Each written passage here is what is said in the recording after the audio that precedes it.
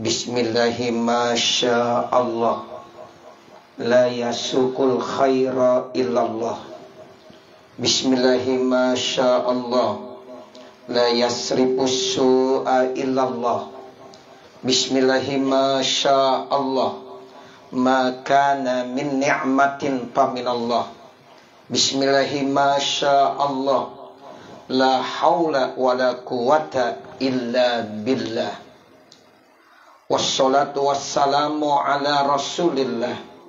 Sayyidina Muhammad ibn Abdillah Wa ala alihi wa sahbihil mutamassikina bil kitabi was sunnah. La hawla wa la quwata illa billah. Amma ba'du faqad qala Allah Ta'ala fi kitabihil karim Wa huwa asdaqul qailin أعوذ بالله من الشيطان الرجيم. بسم الله الرحمن الرحيم. فخذ ما آتيتك وكن من الشاكرين. وقال أيضا أن اشكر لي ولوالديك إلي المصير. وقال أيضا شهر رمضان الذي أنزل فيه القرآن.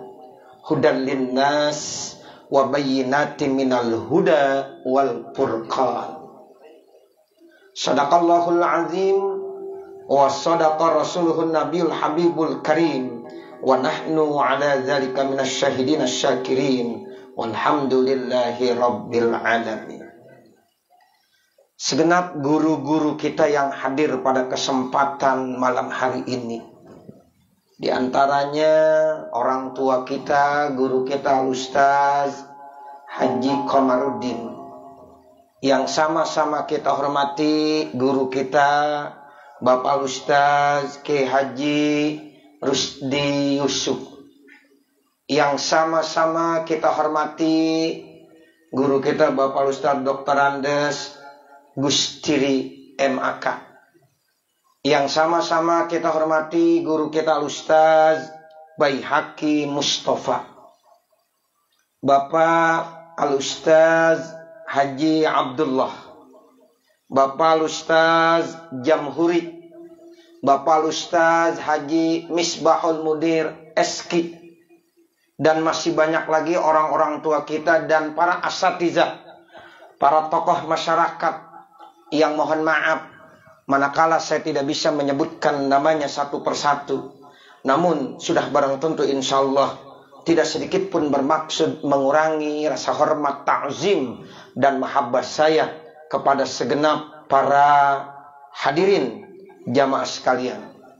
Wabil khususil khusus tentunya sahibul wilayah Bapak Ketua RW Bapak Alustad Dr. Andes Saiful Bahri. Yang sama-sama kita hormati Asep Saiful Bahri. Wabil khususil khusus lagi yang sama-sama kita hormati Bapak Ustaz Haji Matsani beserta keluarga besarnya. Yang dengan sebab wasilah sahibul bait kita bisa kumpul bersama seperti ini nikmat sekali Bapak Saudara kita bisa kumpul seperti ini. Karena sulit untuk mengumpulkan orang sebanyak ini kecuali kalau ada caranya dan kita tahu caranya. Nah ini Al Ustaz Haji Matsani tahu caranya. Bagaimana cara mengumpulkan kita para asatizah, para tokoh masyarakat, para bapak, para saudara bisa hadir di tempat ini.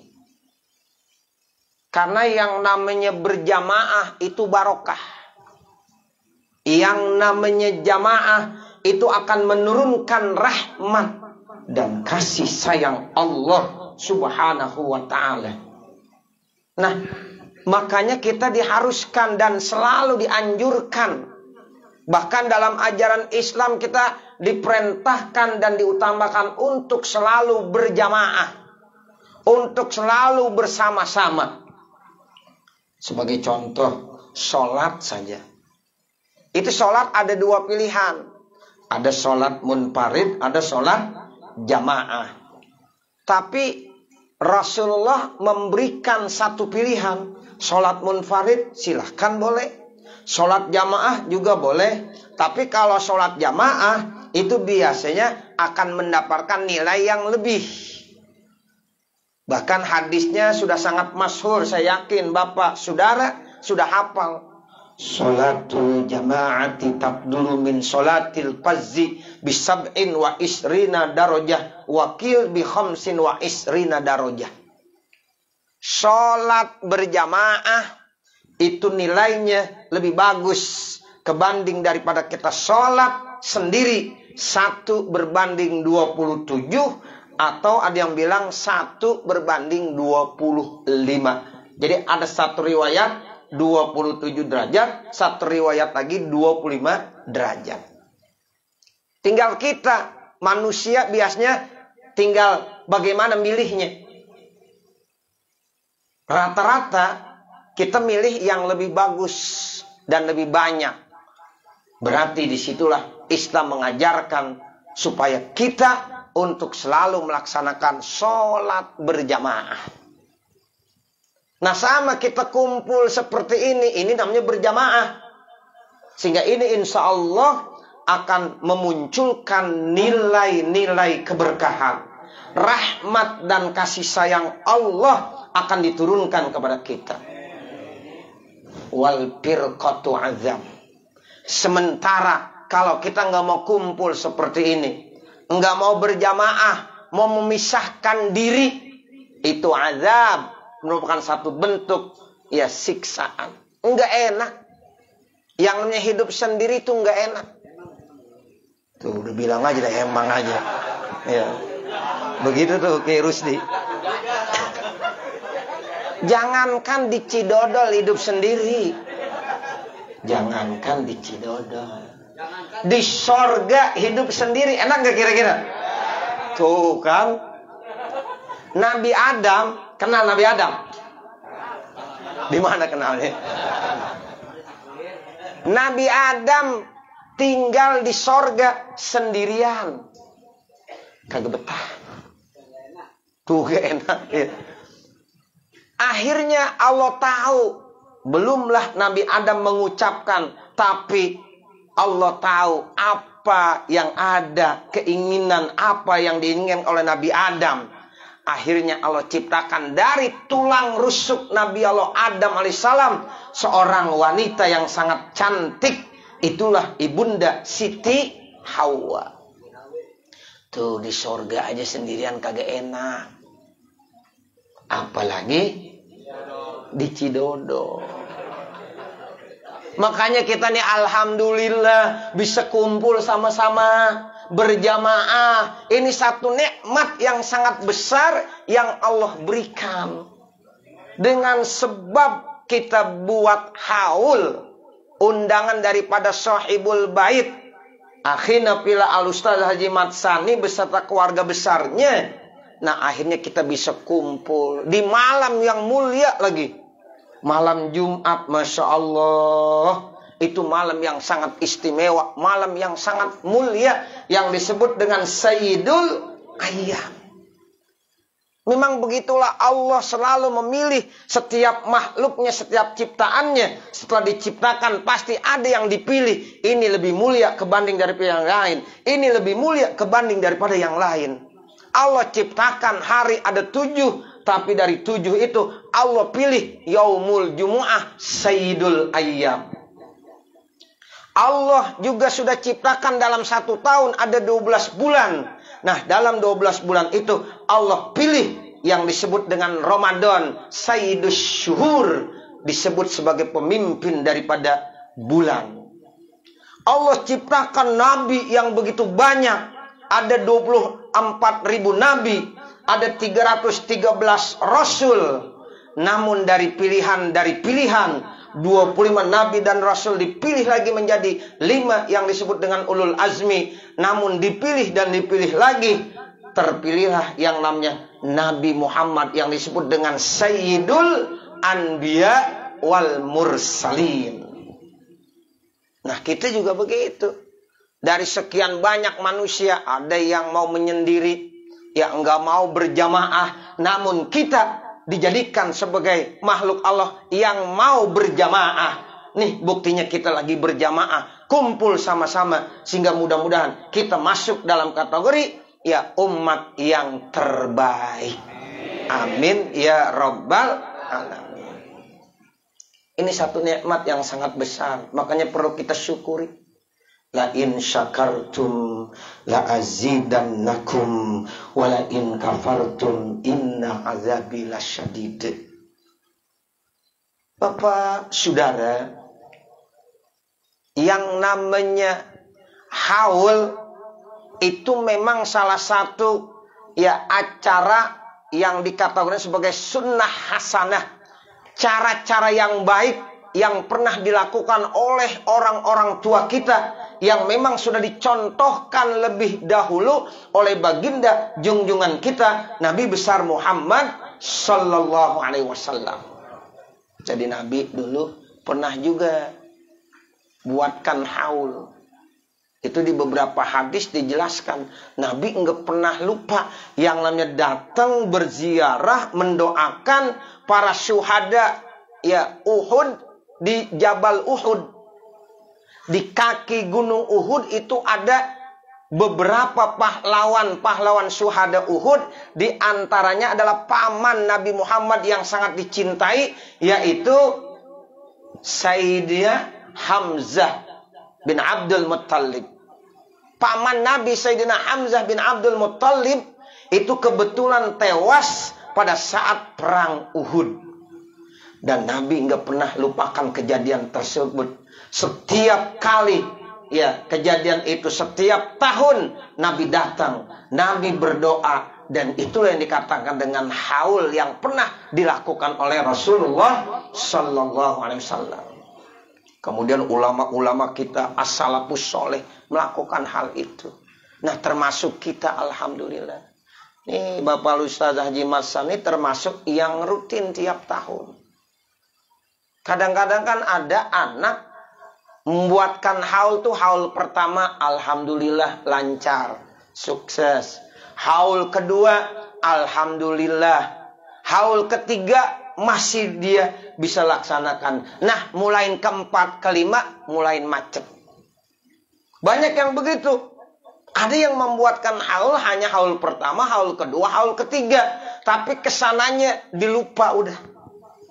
Kadang-kadang punya saudara banyak. Yang satu ya lupa. Yang satu juga lupa. Akhirnya bisa kompak bareng.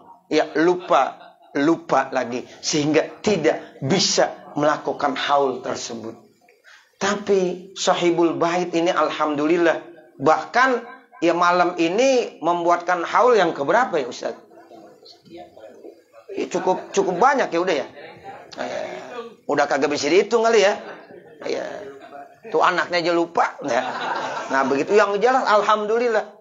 Ya ada yang udah sampai ke 50, ke 60. Bahkan asal soleh ulama-ulama ada yang udah ratusan. Ada yang udah ribuan. Itu kalau kita datang ke para wali-wali. Ya sunan, sunan wali songo. Ya sunan kudus. Ya atau sunan-sunan yang lainnya itu kalau kita lihat haul ada yang haul yang ke seribu sekian ada yang 2000, ada yang 3000. Itu masih dibuatkan haulnya. Nah mudah-mudahan ini termasuk kita anak nanti yang ingat sama orang tua. Sehingga selama ada kita, tolong buatkan haul. Kalau orang tua kita udah meninggal. Kalau orang tua belum meninggal, jangan dibikin haul. Ya, saya, saya mengundang haul. Lalu siapa? Orang tua saya. Terus orang tua kamu udah meninggal? Belum sih Ustaz. Jangan. Ya, lo orang tuanya belum meninggal dibikinin haul. Ya, itu biasanya ya mengingatkan orang-orang tua kita yang sangat berjasa, kita ya peringati. Itu namanya haulnya setiap tahun. Masya Allah Bapak Saudara, yang namanya haul itu merupakan kado yang terindah yang kita berikan. Jadi orang-orang tua kita itu di alam barzah kalau tidak ada acara seperti ini, doa-doa yang kita khususkan, itu nanti mereka akan berebut, akan ngantri. untuk mendapatkan ganjaran pahala yang diberikan oleh umat-umat Islam. Jadi jangan sampai kita lihat orang tua kita ngantri. Di dunia udah ngantri mulu, eh di akhirat ngantri lagi. Kan kagak enak. Ya, di dunia ngantri minyak. Kemarin rame ngantri minyak, betul nggak? Iya kita ngantri minyak. Ibu-ibu biasanya itu. Ya. Jadi kenapa itu minyak pakai ngantri? Tuh, jangan ngomong Jokowi nggak boleh.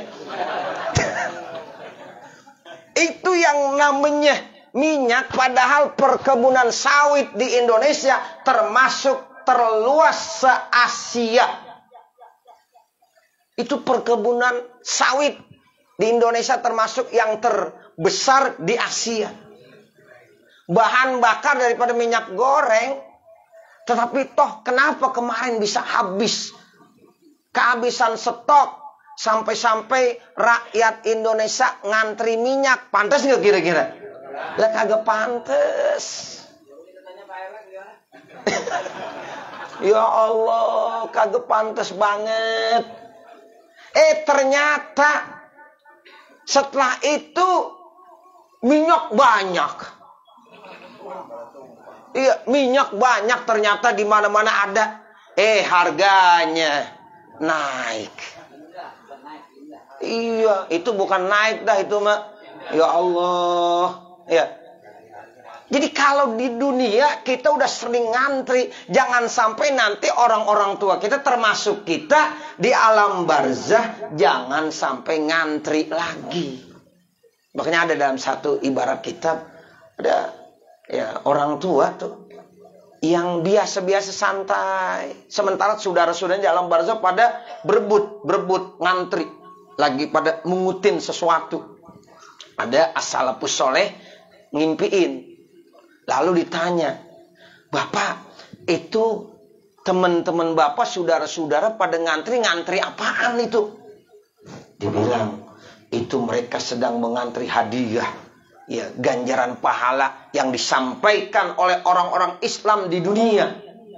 Jadi kalau kita bilang, Allahumma ausil wa taqabbal thawaba ma qara'nahu minal Qur'anil azim titik-titik wa ma ardatna minat tahlil wa tasbih wa sholah wa taslim dan seterusnya.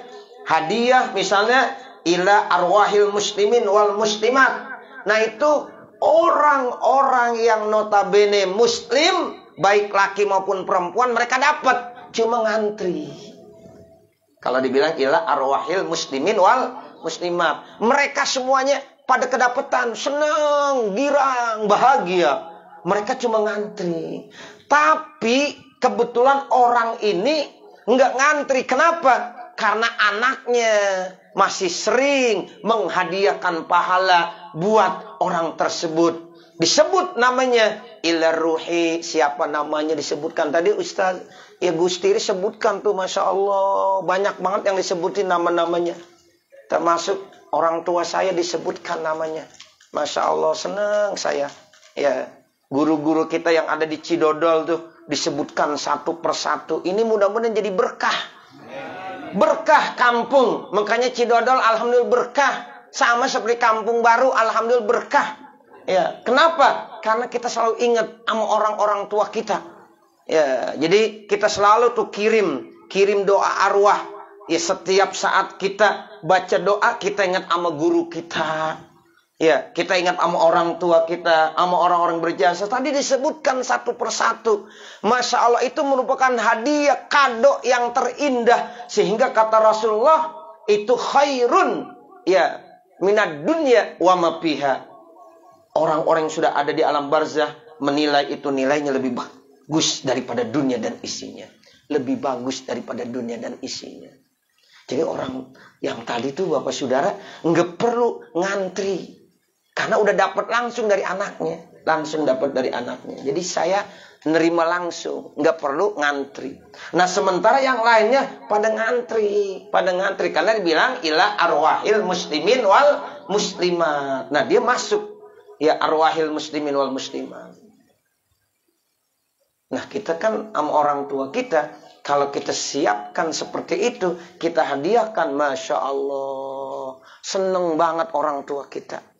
Ya kalau orang tua kita udah seneng, masya Allah kita sebagai anak nanti masuk dalam kategori ridallah fi ridal walidain wasuhtullah fi suhtil walidain. Ridhonya Allah tergantung ridho orang tua. Murkanya Allah tergantung murka orang tua. Itu seperti itu. Ya, nggak mesti haul saja Bapak Saudara. Ya, termasuk kita baca doa Rabbil firli wali walidayya warhamhuma kama rabbayani sogiro. Sampai begitu pentingnya nih doa Rabbil firli wali walidayya sehingga para ulama ada yang menganjurkan dan memerintahkan saat kita lagi sujud, saat kita posisinya dekat dengan Allah, maka silahkan tuh baca Rabbil firli wali walidayya warhamhuma kama rabbayani sogiro. Sampai begitu Bapak Saudara. Jadi kalau kita lagi sujud tuh, ya kan memang sujud termasuk ruknun tawil. Ya, rukun yang panjang. Sebab di dalam sholat itu kan ada ruknun kosir, ada ruknun tawil. Nah, di antaranya waktu sujud. Kita kalau lagi sholat sunnah, tahajud, malam, qiyamul lail. Silahkan kita berlama-lama dalam sujud. Dan posisi sujud itu ada posisi di mana kita paling dekat dengan Allah subhanahu wa ta'ala. Kita minta apa saja. Nah di antara jangan kita lupakan baca. Rabbil firli wali walidayya warhamhuma kama rabbayani sogir. Itu termasuk insya Allah nanti ridha Allah fi ridha walidayya termasuk ziarah ke kubur orang tua. Ya, kalau bicara masalah waktu, ya silahkan kapan saja. Enggak mesti kita nyari waktu hari Jumat. Enggak mesti hari Kamis, hari Senin. Ya, sesempatnya kita aja dah. Kapan kita sempat datang ziarah kubur. Dan enggak perlu nanti dah kalau udah mau Ramadan baru ziarah kubur. Ya, atau nanti setelah Ramadan baru ziarah kubur. Ya, jangan. Kapan kita ada waktu? Kasihan orang tua kita. Ya, kalau memang deket, datengin. Kecuali kalau jauh, silahkan kita berdoa pun insya Allah udah sampai. Tapi kalau deket, datengin. Sebab sama, kita kalau masih hidup, Pak, ada yang berkunjung ziarah namanya. Itu yang masih hidup, demen nggak kita kunjungin? demen sama orang tua kita yang dalam barzak kita ziarah juga berkunjung itu dia demen ya Allah alhamdulillah anak saya sudah datang tuh begitu. Cuma jangan ditaburin cuma sama bunga doang. Ini kadang-kadang ziarah kubur beli bunga taburin mbak. Udah datang nih pak ya ditaburin bunga sama disiramin air. Udah. Tuh air udah banyak banget lagi. Ya anaknya ada 10 ya 10 10-nya bawa satu ember air. Lah itu kalau babanya tahu tuh dia bicara, ya Allah, mudah ya kedinginan disiramin air mulu. Iya begitu. Ya. Jadi doa, doa, tolong doa. Nah seperti itu, ada adab etika ketika kita ziarah kubur. Nah ini Bapak Saudara, makanya haul ini saya katakan termasuk kado terindah buat orang-orang tua kita, orang-orang yang berjasa ya kepada kita. Itu kado terindahnya kita buatkan haul seperti ini. Karena di dalam haul ini banyak nilai-nilainya. Ada sodakohnya. As-sodakatu hadiyatun. Begitu kata Rasulullah. Tahadu tahabu. Sodakoh itu merupakan satu bentuk hadiah. Nah, kata Rasulullah tahadu saling berhadiahlah kalian tahabu mudah-mudahan kalian tambah cinta dan tambah sayang. Tuh, jadi dengan sebab wasilah haul kita insya Allah ini ada bentuk sodako dari sohibul bait. Nah sodako ini bentuknya apa? Hadiah. Jadi kalau hadiah siapa aja boleh nerima. Kalau sodako kan kesannya hanya orang miskin yang nerima. Tapi kalau hadiah siapa aja nerima. Makanya kata Nabi asodako hadiah. Tuh, jadi mudah-mudahan kita datang kemari, entah pulangnya insya Allah nengteng. Iya. Di depan kita udah kelihatan tuh banyak banget mas ya. Iya. Apalagi ada minyak gorengnya. Uh, udah istri nanya ada minyak goreng gak bang? Ada minyak goreng gak? Nggak ada. Ya nggak ada. Nah begitu. Ada indominya nggak bang? Ada, masya Alhamdulillah. Itu begitu hadiah tahadu saling berhadiah kalian. Tahabu, mudah-mudahan kalian tambah cinta dan tambah sayang. Tuh, makanya sodako itu masalah bentuk ya amalan yang paling disukai. Sampai-sampai Allah gambarkan dalam Al-Quran itu ada penyesalan. Orang-orang yang nanti meninggal dunia, mereka menyesal pengen hidup lagi ke dunia. Laula akhartani ila ajalin qaribin fa as-saddaq fa wa akum minas solihin. Jadi nanti orang-orang yang meninggal dunia itu Bapak Saudara, ternyata mereka menyesal. Ya Allah, bisakah saya dihidupkan kembali? Padahal Allah udah kasih kehidupan hanya satu kali. Satu kali kita hidup di dunia. Nggak pernah lebih dari dua kali. Jadi nggak ada orang cerita udah meninggal hidup lagi. Nggak ada. Dulu berarti belum meninggal kali. Ya, jadi kalau cerita ada orang yang meninggal kemudian hidup lagi, ya nggak ada. Allah memang sudah berikan kehidupan dunia hanya satu kali. Ustaz itu dulu ada orang yang hidup kembali.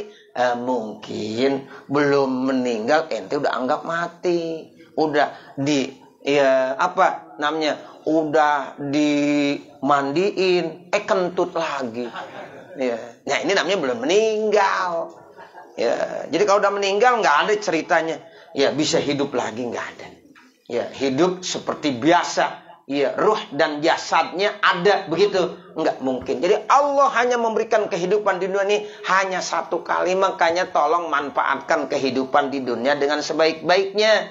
Nah Allah gambarkan tuh laula akhortani ila ajalin koribin pa asodako.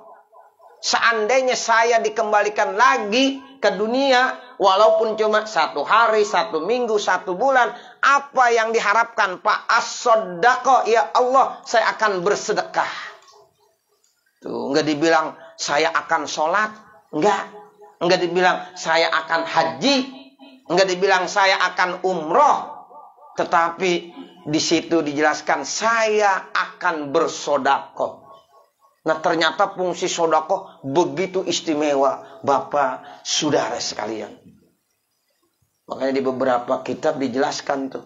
Banyak sekali fungsi daripada orang bersodako. Di antaranya itu as-sodako itu tajlibur rizko.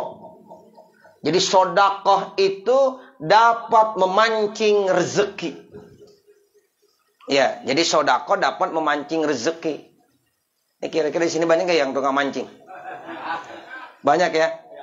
Uh, jadi kalau kita pengen mancing rezeki dengan sodako. Ya, itu caranya. Kalau kita pengen mancing rezeki Bapak Saudara dengan apa caranya? As-sodako. Jangan lupa sodako. Tuh kalau hari Jumat tuh kalau kita mau sholat Jumat ke Masjid Nurul Yakin, jangan lupa di kantongnya diapain? Diisiin. Jangan kelupaan mulu. Ini kadang-kadang kita rokok nggak pernah kelupaan. Kalau buat duit ke masjid lupa mulu. HP nggak pernah lupa, rokok nggak pernah lupa, giliran ke masjid, iya bawa uang kelupaan mulu.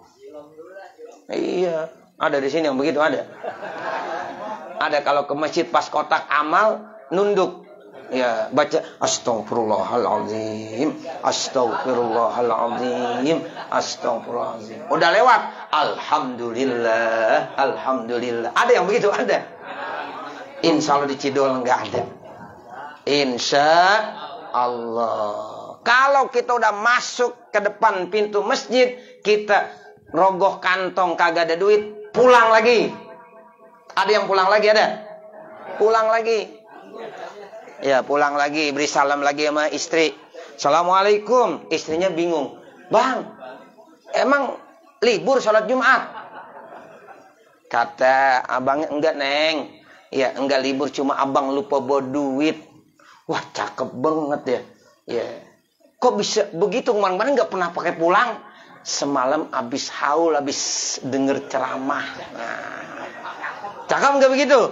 Nah, besok semuanya harus bawa ya uang di kantong. Masalah ya berapa besarnya itu urusan Bapak Saudara. Yang penting bawa dulu dah.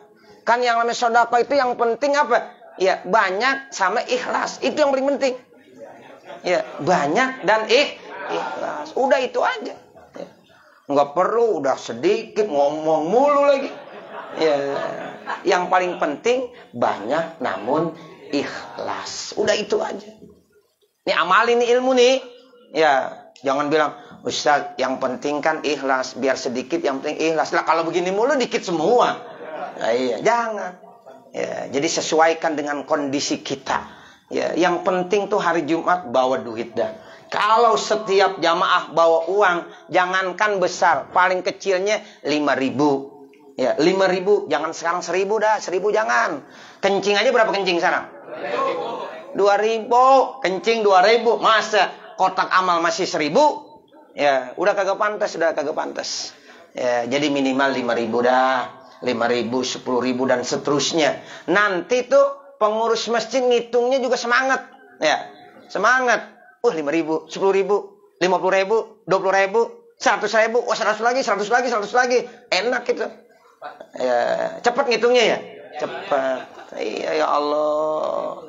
Ayo, ayo silahkan nih. Nih, jadi as-sodaqatu tajlibur rizqo. Sodakoh itu dapat menarik dan memancing rezeki. Tuh, jadi kita pancing rezeki kita dengan ya bersodako. Kemudian apalagi? Sodako itu ternyata dokter pribadi kita. Jadi dengan kita bersodako, kita punya dokter pribadi. as itu tabibun lak. Jadi sodako itu menjadi dokter pribadi kamu. Nabi bilang, Dawu mardakum bis sodako. Obati berbagai macam penyakit yang ada pada diri kamu dengan bersodako. Tuh, jadi kita sodako tuh Pak, mudah-mudahan kita iya nggak perlu lagi ke dokter dah. Nggak perlu lagi ke dokter. Kenapa? Dengan bersodako. Jadi orang yang banyak sodakonya insya Allah sehat terus. Ya, jasmani rohaninya sehat insya Allah. Termasuk sodako itu akan menjaga kita. Ya, jadi sodako itu akan menjaga kita. Ya, insya Allah ya sodako harisun laka itu akan menjaga kamu dari pencurian, dari apa saja.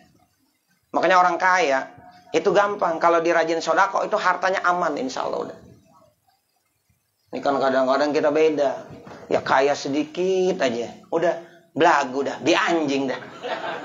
Ya. Di anjing kata Kairus tadi. Ya. ya Allah anjing tuh biayanya mahal. Ya. Kira-kira anjing kalau dikasih ya oncom, tempe, tahu mau nggak? Kagak mau. Daging, daging mahal sekarang. Ya. Uh, 120 ribu katanya. Ya. Jangan kita Nih kadang-kadang kita begitu kaya dikit dah belagu dah belagu dah be anjing dah. Ya. Terus olahraga dah pagi-pagi sama anjingnya dah. Ya sama anjingnya. Kita bingung mana anjing mana orangnya ini. Ya. Terus yang kedua itu biasa orang kaya. Ya kalau lari paginya biasa udah macam-macam dah. Ya celananya pendek dah. Ya celana buntung dah. Turun dari mobil celana buntung. Ya tadinya biasanya rapi. Sekarang duitnya banyak, ah udah beli celana pendek aja. Lah kan lucu banyak duit celana pendek. Ya.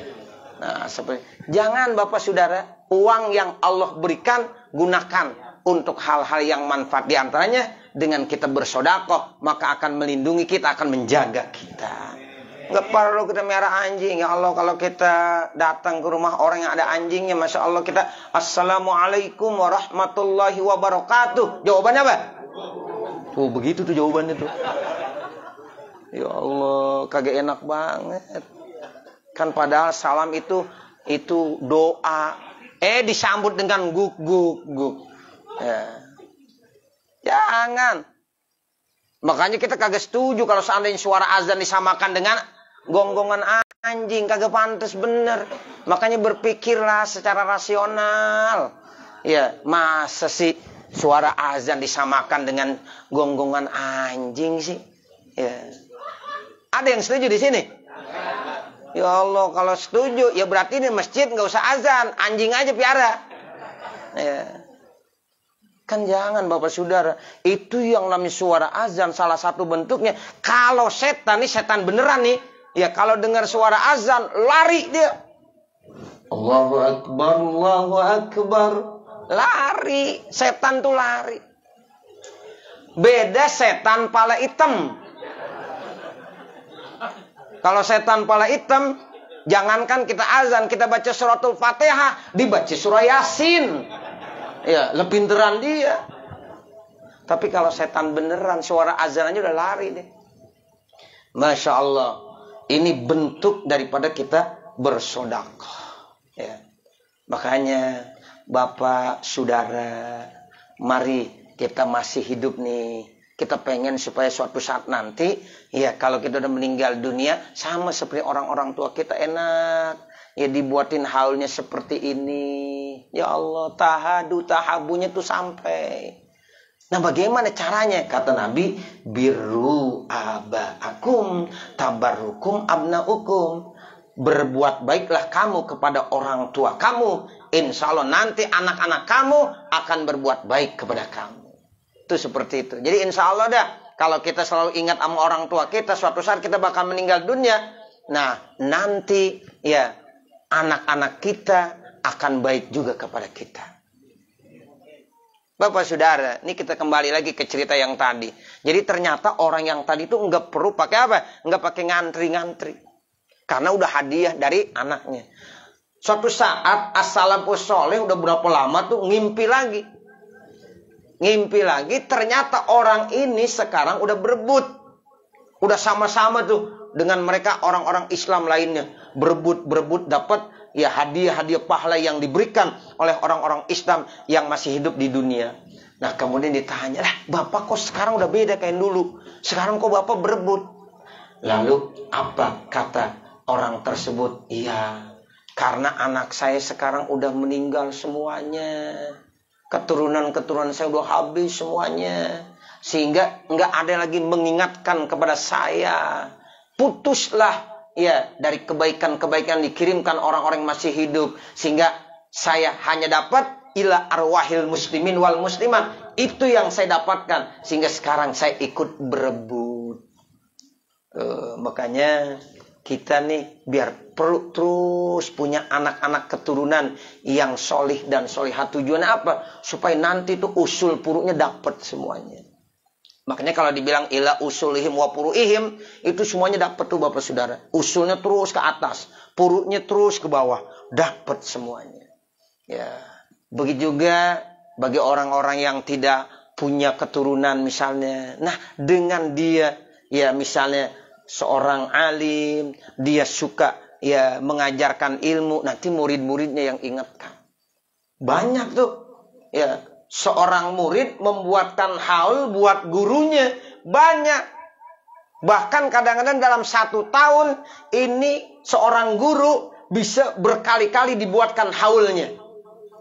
Sama keluarganya lain, sama murid-muridnya lain yang ada di sana, sama murid-murid yang di sini lain lagi membuat sehingga itu bisa satu tahun lebih dari satu kali dibuatkan haulnya. Kenapa? Karena banyak murid-muridnya yang begitu patuh dan taat. Tuh, makanya kita minimal ya dalam acara-acara haul seperti ini sama guru-guru harus ingat. Minimal namanya kita cantumin.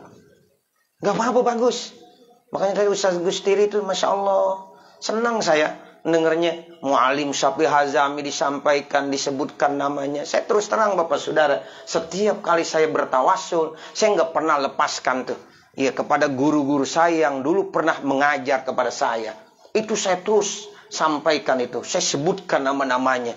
Saya punya guru di Cirebon. Ya, saya sampaikan itu satu persatu. Ya, karena memang ini penting sekali. Orang tua kita itu sering kali kita bacain doa. Jadi insya Allah salah satu penyebab kenapa rezeki kita mampet, kenapa rezeki kita seret, itu mungkin karena kurangnya doa kita kepada orang tua dan kepada guru-guru kita. Itu kita introspeksi. Ya, jadi kalau seandainya rezeki kita kenapa nih kok seret banget? Ya, kenapa kok enggak lancar-lancar rezeki kita? Introspeksi diri. Mungkin kita kurang-kurang banyak berdoa buat orang tua kita dan buat guru-guru kita. Nah, coba sekarang dah. Kita perbanyak doa buat orang tua dan buat guru kita. Insya Allah nanti ada perubahan. Ya, insya Allah. Karena pada dasarnya rezeki udah dijamin sama Allah. Wa ma min dabbatin fil ardi illa 'ala Allahi rizquha.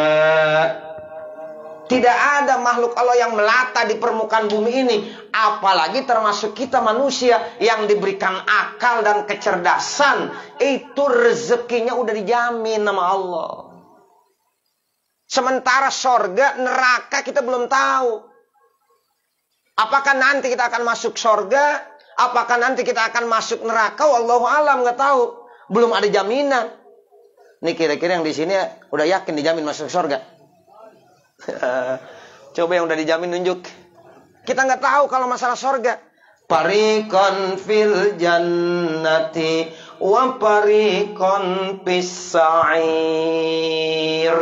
Nanti diponis sama Allah. Manusia itu cuma ada dua kelompok. Satu bagian masuk ke dalam sorga. Satu bagian lagi masuk ke dalam neraka. Cuma dua. Cuma kita belum dapat jaminan.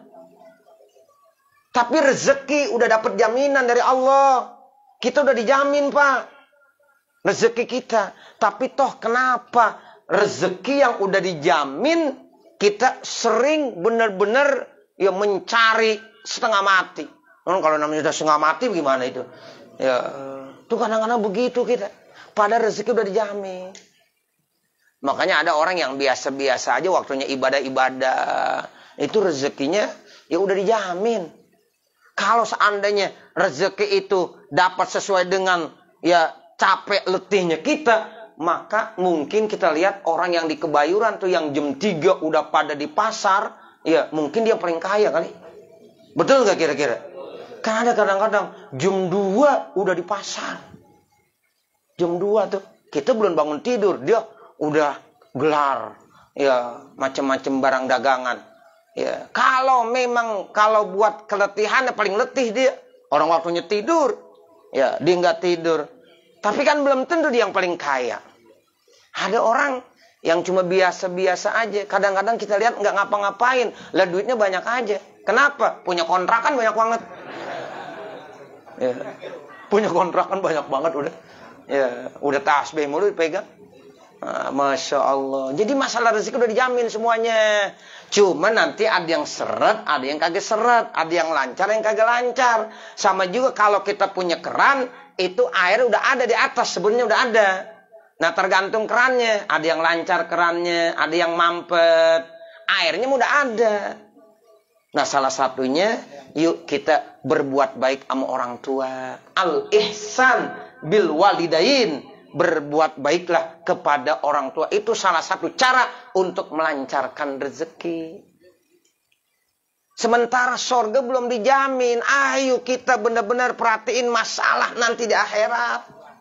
Ya, jangan sampai kita nggak memperhatikan. Lebih-lebih besok kita akan masuk bulan Ramadan. Nah ini bulan yang sangat istimewa. Ini rata-rata semuanya pasti senang datangnya bulan suci Ramadan ya. Betul. Iya pasti senang, gembira, bahagia. Ya insya Allah Ramadan ya akan datang. Makanya kita minta supaya dikasih sehat sama Allah. Panjang umur sehingga kita bisa manfaatkan momen Ramadan dengan sebaik-baiknya. Amin. Ya Rabbal Alamin. Nah mudah-mudahan insya Allah kumpulnya kita jadi barokah. Mudah-mudahan Allah turunkan rahmat dan kasih sayangnya sehingga mudah-mudahan yang datang, baik yang duduk, yang berada di kawasan bagian dalam, depan dan di ya eh, jalan ini semuanya tanpa kecuali sama. Ya, insya Allah dapat berkat semuanya.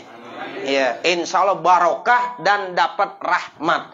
Ya, insya Allah kita akan dicatat sebagai umat Nabi Muhammad yang senantiasa melaksanakan yaitu sunnah-sunnah daripada Rasulullah di antaranya kita sudah berbuat ihsan kepada kedua orang tua kita. Mudah-mudahan hidup kita dapat ridho Allah Subhanahu wa taala. Amin.